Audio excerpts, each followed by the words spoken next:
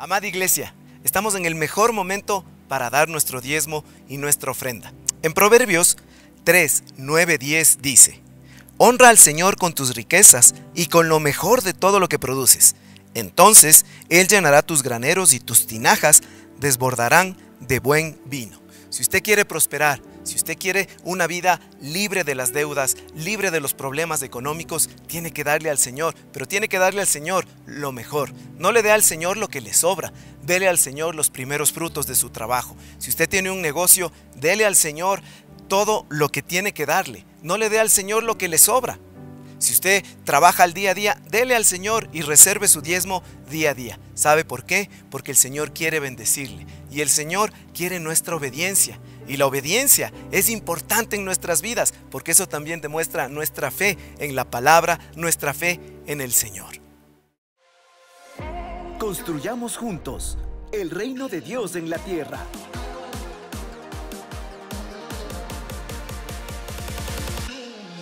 No dejemos de dar. Tu milagro está cerca.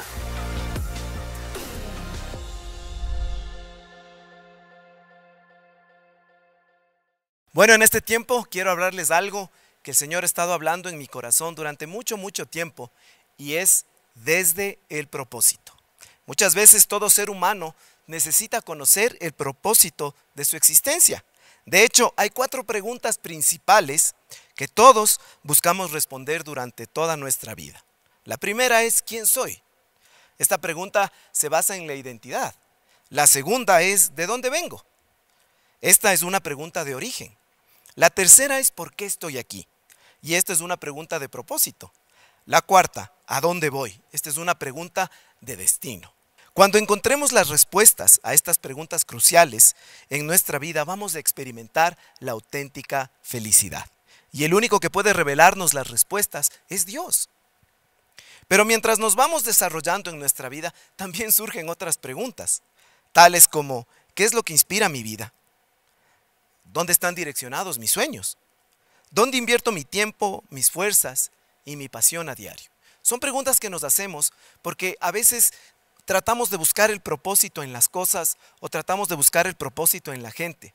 Pero yo quiero hablarte ahora de estas dos cosas bien importantes, acerca del propósito y acerca del llamado. Quiero decirte una frase eh, de un escritor muy, muy conocido. Él escribió las, las aventuras de Tom Sawyer. Se llama Mark Twain.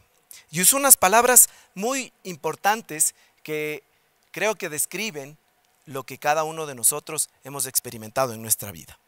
Dice, los dos días más importantes en tu vida son el día en que naces y el día en que descubres por qué.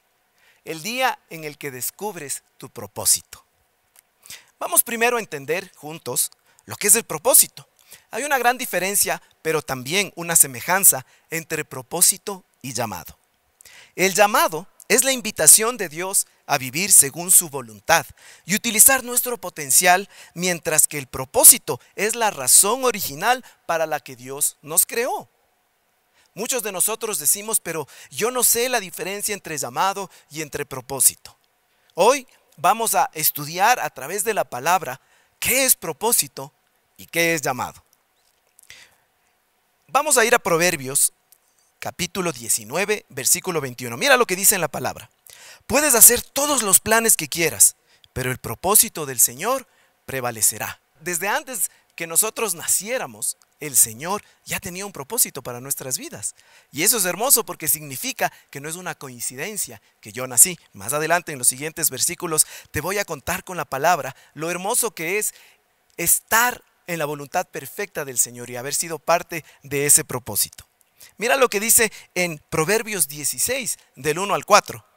Podemos hacer nuestros propios planes, pero la respuesta correcta viene del Señor. La gente puede considerarse pura según su propia opinión, pero el Señor examina sus intenciones. Voy a parar ahí un momento.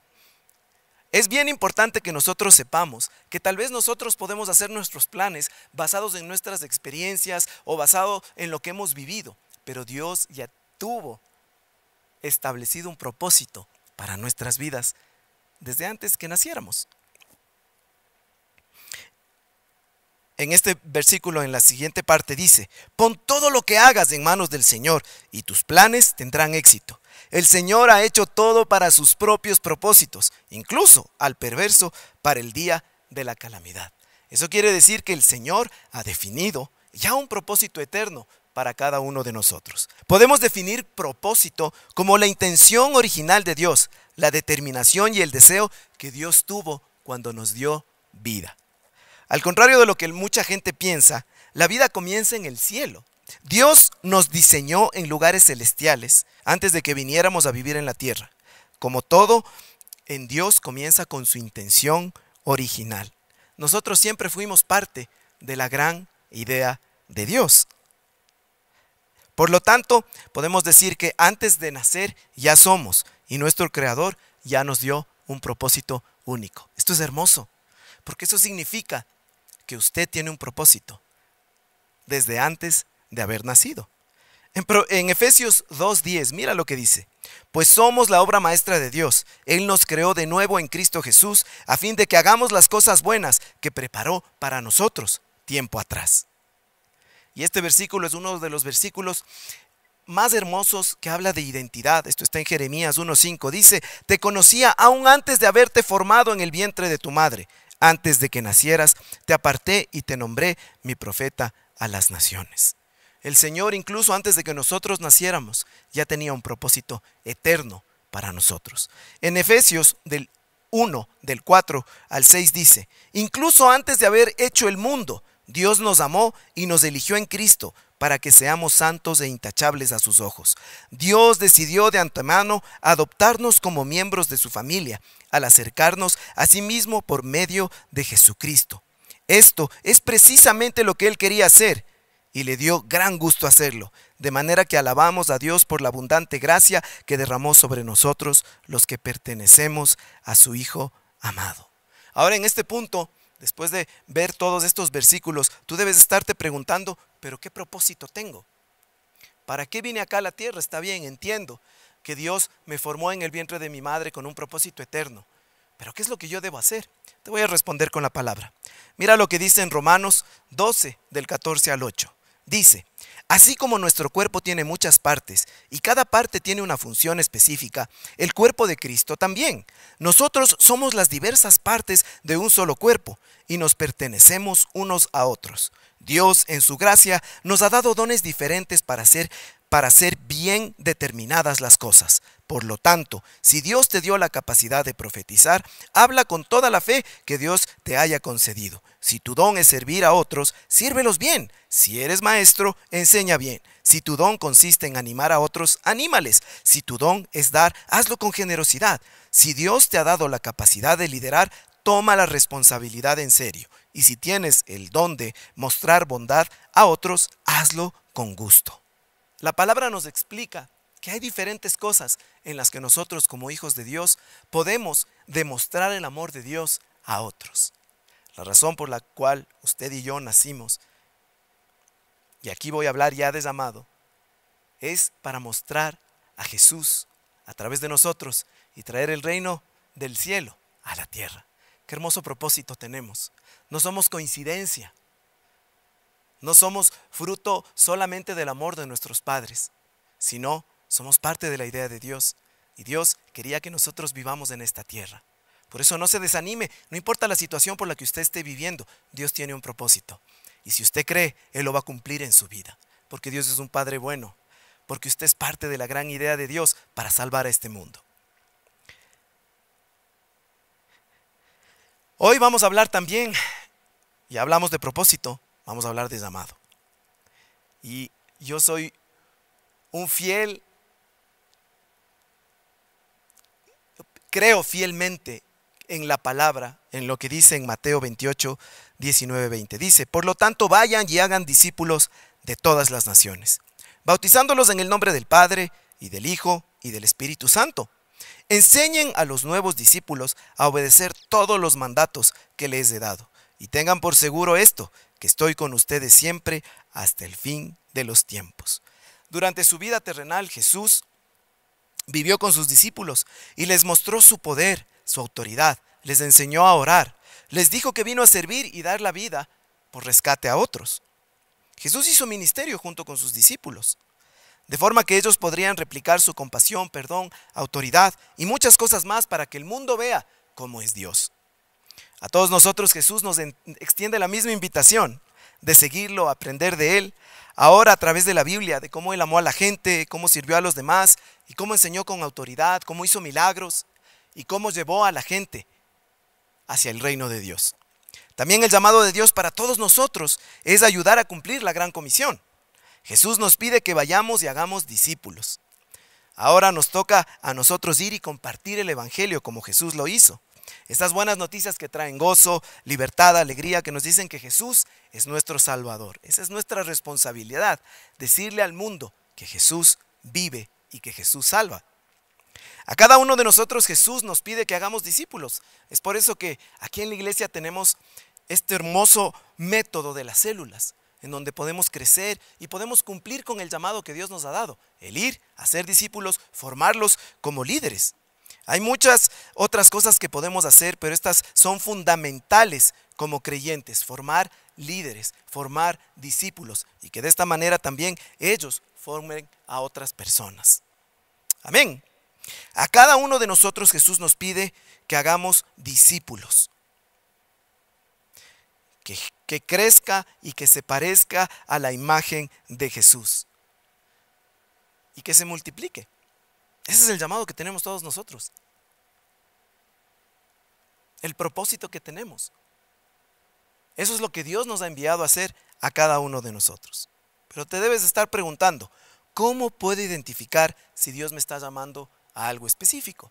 Yo tengo este talento, yo tengo este don, yo ah, eh, soy ingeniero, soy doctor, eh, soy videógrafo, soy maestro. ¿Cómo puedes identificar en lo que Dios te quiere usar. Yo te voy a dar algunas claves con las que tal vez tú te puedes identificar y tú puedes ver estas claves para saber a lo que Dios te está llamando. Uno, ten una relación estrecha con Jesús.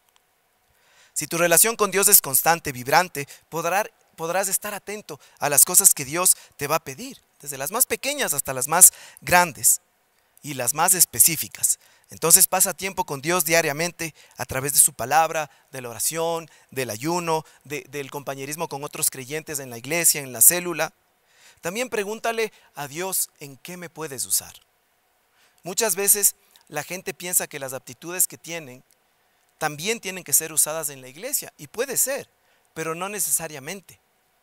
Hay mucha gente que tal vez tiene aptitudes en ciertas áreas, pero Dios te puede usar en otras áreas que tal vez ni siquiera pensabas que te podía usar. Número dos, conoce bien tus dones y tus talentos. Es importante que tú sepas que cada uno de nosotros venimos como cargados con dones y talentos. ¿Qué dones tienes? Hay, gente que es muy buena al hablar, hay gente que es muy buena al predicar, hay gente que es tímida, pero ¿cuáles son tus dones, qué es lo que Dios te ha dado. Hay gente que es buena para el fútbol, para la música, para la medicina, para las matemáticas. Con todo esto, tú puedes servirle al Señor. Dios te dio estos dones y talentos con los cuales puedes servir a los demás y a tu iglesia, a tu familia, a tus amigos, a tus compañeros de la escuela o de la universidad, del trabajo o tu comunidad en general.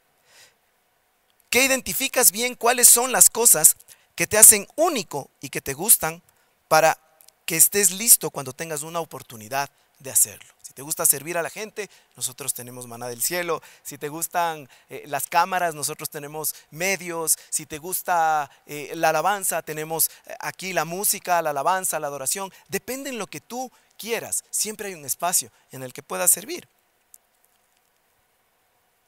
Número, número 3. Sirve en diferentes capacidades. Mientras vayas descubriendo tus dones, no esperes más para servir. Sirve en diferentes formas ahí donde Dios te puso. Mira qué capacidades tienes, cómo puedes servir. Es importante el servicio también en la iglesia. Tienes que ver en las áreas en las que tú quieras. Siempre va a haber espacio para que sirvas. Número 4. Pide consejo a personas sabias. Y esto es algo que a veces nosotros no lo tomamos muy en cuenta y no lo aprovechamos. En la iglesia tenemos líderes, tenemos pastores, a los cuales podemos consultar y, podemos pedir consejo. Tengo este sentir en mi corazón, tengo estas ganas de servir, pero no sé si Dios me ha llamado a esto. Pide consejo. Pregunta a tus amigos, pregunta a tus padres, a tus pastores, a tus líderes, cuáles son las cosas en las que ellos creen que tú eres bueno y podrías hacer un gran trabajo. Esto te ayudará a reducir el campo al que quizás Dios te está llamando. Todos y cada uno de nosotros tenemos un llamado por parte de Dios. Tenemos una gran comisión que cumplirla, pero también tenemos que servir en nuestra iglesia. El Señor nos dice que le amemos a Él primero, pero que también amemos a los otros como a nosotros mismos. Eso significa nuestra comunidad, nuestra gente que nos rodea, nuestros amigos, nuestra familia. Número 5. Busca oportunidades, no siempre a la primera oportunidad identificaremos el llamado específico para nosotros, pero mientras buscas oportunidades, estas te ayudan, te ayudarán a identificar mejor tus dones, capacidades y talento. Busca las oportunidades. Eh, eh, te estamos buscando en, este, en esta área de jóvenes para servir, en esta área de niños, en la alabanza, en, producción, en, en lo que sea, en Ujieres. Busca las oportunidades. Yo recuerdo años atrás, yo comencé sirviendo en el Ministerio de Niños. Fue, fue un riesgo muy grande que tomaron mis pastores porque me acuerdo que yo predicaba con mi primo, éramos súper jóvenes, teníamos 16, eh, 17 años y predicábamos en los cultos de niños. Y ahí empezó mi servicio en la iglesia. Y después de muchos años el Señor me, ha dado el privilegio de poder servir en el área de producción de la iglesia y poder hacer algo hermoso con la iglesia. Pero busca las oportunidades.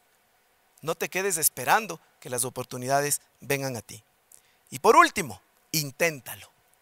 Para caminar sobre las aguas hay que salir de la barca. Pedro quería experimentar lo que se significaba caminar sobre las aguas, pero Jesús le dijo, ven, camina. Y hay que, hay que tener mucha fe y hay que poner nuestros ojos en Jesús al momento en el que estamos intentando. Toma pasos de fe y ten confianza en Dios para dar el primer paso en esta aventura de obedecer el llamado de Dios. Verás a Dios actuar de maneras como no, lo, habías experimentado antes. Le vas a ver a Dios moverse en tu vida de una forma increíble si tú le das el espacio. Así que acuérdate, cada uno de nosotros tenemos un propósito eterno. Desde el vientre de nuestra madre, el Señor nos envió a la tierra con un propósito. Es tu responsabilidad descubrirlo. Pero en el camino, mientras descubres tu propósito, todos tenemos un llamado y es ir y hacer discípulos. Así que yo quiero animarte en esta noche a que tú puedas recibir ese llamado de Dios de tu vida. Tal vez tú estás muchos años en la iglesia y no has dado el paso de ser líder, porque tienes miedo, tienes temor, o tal vez has tenido malas experiencias. Tal vez tú estás ahí en tu televisión escuchando esta prédica y no tienes idea cuál es el propósito que Dios tiene para tu vida. Te voy a pedir algo. Ahí donde estás, cierra tus ojos. Y vamos a hacer una oración para que juntos podamos descubrir lo que Dios tiene preparado para tu vida. Señor, en este día queremos entregarte nuestras vidas, Señor. Queremos entregarte, Señor Padre, todos estos sueños, estos deseos, estos anhelos, Señor. Todas estas cosas que están en nuestro corazón, todas estas preguntas que son difíciles de responder, Señor. Pero oramos que a través de tu Espíritu Santo, Padre, podemos escuchar tu voz, Señor. Podemos escuchar tu dirección y podemos escuchar qué es lo que tú quieres para nosotros, Señor. Oramos, Padre, que sabemos claramente poner nuestras prioridades en orden, Señor. En tu palabra dice que busquemos primeramente tu reino y que todo lo demás será añadido, Señor. Oramos en este día, Padre, que no nos dejes, Señor, llevarnos por la tentación del mundo, Señor, o por la vanagloria de este mundo, Señor, sino que podamos mirar hacia ti, Señor, poner nuestros ojos en la meta, que eres tú, Jesús. Y que podamos, Señor, formar líderes, formar discípulos, Señor. Que podamos, Señor, ser parte de este cuerpo hermoso, Señor, y ser herramientas útiles en tu presencia, Señor. Padre, también yo oro en este día, Señor, por aquellos que han sentido que su vida no tiene un propósito, Señor, y que han considerado, Señor, aún quitarse la vida. En este día, Señor, yo oro que tu precioso Espíritu Santo se derrama en este lugar, Señor. Ahí en su sala, en su cuarto, en su dispositivo móvil, Señor, o donde nos estén viendo, Padre. Yo oro, Espíritu Santo, que tu presencia se derrame. Que tu dulce voz hable a cada uno de mis hermanos y mis hermanas. Y les diga, Señor, que tú les formaste y que tú tienes un llamado especial para cada uno de ellos, Señor. Gracias, precioso Espíritu Santo, por tu presencia. Como dice en Jeremías 1.5, te conocí aún antes de haberte formado en el vientre de tu madre. Antes de que nacieras te aparté y te nombré mi profeta a las naciones. Querido hermano, querido hermana, querido amigo, querida amiga, No importa la situación en la que tú estés viviendo. No importa si no tienes para pagar la hipoteca el día de mañana. No importa si no tienes el dinero para las matrículas de tus hijos. No importa si no tienes con qué llenar tu refrigerador. O tal vez estás pasando por un divorcio. O tal vez estás pasando por una enfermedad terminal. Dios es un Dios de milagros. Y Dios quiere transformar tu vida. Dios quiere entregarte mucho más de lo que tú has soñado y has querido. Porque Dios es bueno y Dios da en abundancia. Dios es un Padre bueno. Dios es un Padre fiel y Él no te va a dejar solo en esta situación. Él va a mover, así como movió los cielos, como movió el mar, como Jesús calmó la tormenta. Cuando los discípulos tenían miedo, Así las tormentas se van a calmar en tu vida cuando tú buscas al Señor, cuando buscas su propósito, cuando buscas su llamado. No te desanimes. Si tú eres líder y estás adelante y estás apasionado, sigue adelante. Si estás esperando por un milagro, Dios lo va a hacer. Porque Dios es un Padre bueno. Y tal vez es la primera vez que tú te conectas. Tal vez te llegó este link por coincidencia. Pero yo creo que Dios quiere decirte que tiene una vida hermosa para ti. Si es la primera vez que tú estás viendo esta transmisión, quisiera hacer una oración también contigo. En la palabra del Señor dice que nos acerquemos a Él, tal y como somos. Y Él nos va a restaurar, Él nos va a sanar, Él nos va a liberar. Hoy quiero presentarte a Jesús, la razón de nuestra vida, quien ha transformado nuestra existencia, quien nos ha dado propósito y la razón por la que nosotros estamos aquí sirviendo día a día. Hoy quiero que le conozcas. ¿Cómo lo conoces? Teniendo fe. A través de una oración que vamos a hacer en un momento, tú puedes pedirle que Él venga a tu corazón y que sane tu vida, que restaure tu vida. Jesús quiere entrar a tu corazón. Tal vez durante muchos años Él ha estado golpeando la puerta de tu corazón. Ábrele y comienza a vivir una vida totalmente diferente, una vida de paz, una vida de gozo. ¿Por qué no me sigues en esta oración? Dile, Señor Jesús, en este día yo te pido que vengas a mi vida. Yo te pido que entres a mi corazón. Te hago mi Rey, mi Señor y mi Salvador. Y te pido en este día, Jesús, que tú gobiernes mi vida Jesús, me entrego voluntariamente a ti, sabiendo que de hoy en adelante tú vives en mí. Precioso Espíritu Santo, ven a mi vida, transfórmame y dame un nuevo sentido. Si tú hiciste esta oración, tenemos unos números en pantalla a los cuales tú puedes llamar. Nos puedes seguir por nuestras redes sociales y nos puedes escribir a nuestro inbox. Estamos gustosos de poder conversar contigo y poder vivir juntos esta nueva vida.